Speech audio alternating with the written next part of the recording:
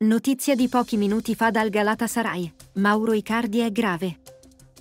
Prima di avviare il video, desidero farti notare l'importanza di fare clic sul pulsante iscriviti e di lasciare un mi piace.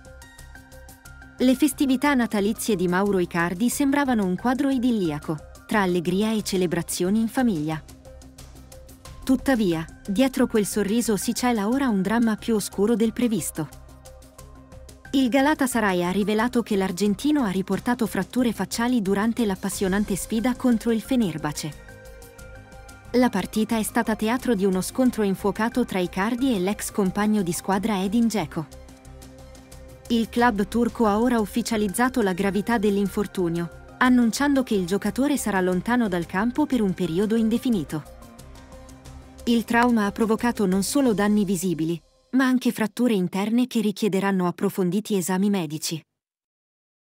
Il comunicato ufficiale del Galatasaray ha svelato che Icardi si sottoporrà a test oftalmologici, otorinolaringoiatrici e di chirurgia plastica per valutare l'entità del danno.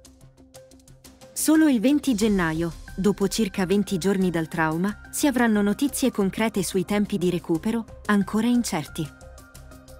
Le speranze di un ritorno rapido in campo sono legate alla possibilità che Icardi giochi indossando una mascherina protettiva, simile a quella di Victor Osimen dopo un incidente con Milan Skriniar.